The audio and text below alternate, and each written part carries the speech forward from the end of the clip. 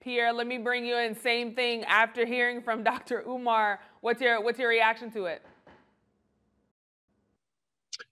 It's all about why is it why is it us in the black community always gotta do name calling when we don't like something? If I say I don't like apples, then why gotta be a clown ass nigga, you whack ass motherfucker, whack it like why is it gotta be that?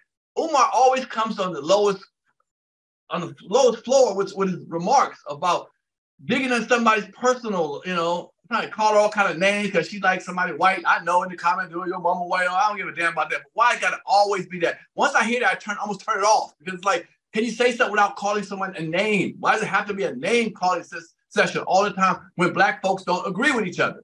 Now, I didn't watch the show. I don't know. I don't know the whole thing that she went through. But if she was just talking about she didn't want to be well, we'll get we'll talk about that later on. But yeah, just his response. Um, it, doesn't have to be wrapped around name calling all the time, or does it? Is that the only way you can get through it by calling somebody a name or something? You know what I'm saying? Because they don't like something you don't like, or do something you don't do. Why does he have to go there all the time instead of just keeping it on board and saying what it is? Fair point. Denielle, let me bring you in. Same thing. After seeing uh, Dr. Umar respond, what's your reaction to it? Um, I don't have nothing much to say about Dr. Umar. I just don't like how it sounds like in this conversation, like he is attacking her. I think you can get your point across to somebody without attacking them because now it adds to the clashing.